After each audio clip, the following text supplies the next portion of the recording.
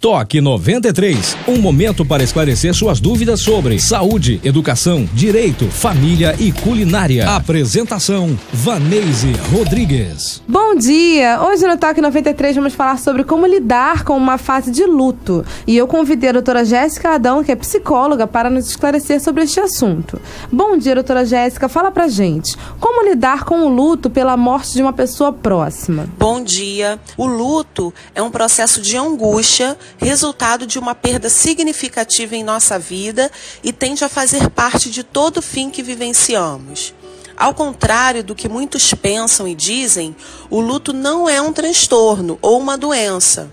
Logo, não é algo a ser curado ou evitado, mas sim compreendido, acolhido e elaborado. E às vezes, um auxílio profissional, como psicológico, pode ser necessário. Doutora Jéssica, quais são as reações ao luto?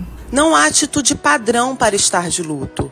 Algumas pessoas se calam, se fecham em seus mundos, se afastam, enquanto outras se tornam ativas, querem falar, chorar abertamente, estar acompanhadas. Não devemos nos prender ou avaliar uma reação por si só. Afinal, cada ser humano tem o direito de sentir e vivenciar em sua particularidade. Podemos notar que, independente a reação, ambos os casos possuem em comum a necessidade de ter sua dor de perda acolhida e respeitada. Os primeiros dias tendem a ser terríveis, sendo mais comum os choros descontrolados, atitudes agressivas ou intensas, falta de apetite e de sono. Com o passar do tempo, essas reações tendem a ganhar uma estabilidade.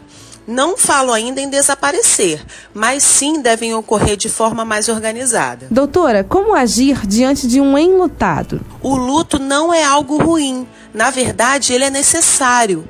É uma etapa que precisamos encarar, compreender, vivenciar para continuarmos vivendo de forma equilibrada e saudável.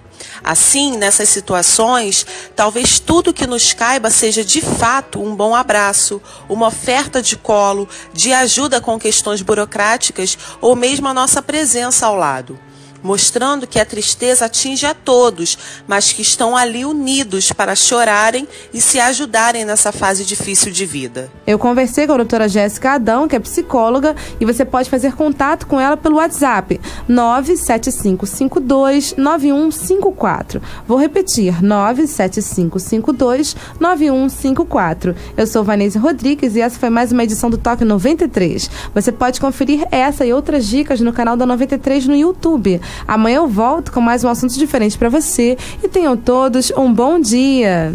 Toque 93, de segunda a sexta, aqui no programa Café com Crente.